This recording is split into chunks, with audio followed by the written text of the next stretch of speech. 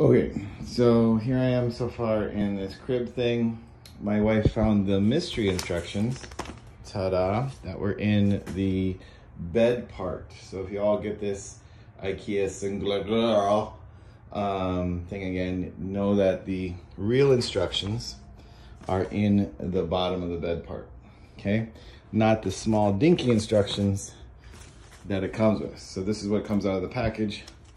This is in the secret compartment in the bed. So now I'm to this point.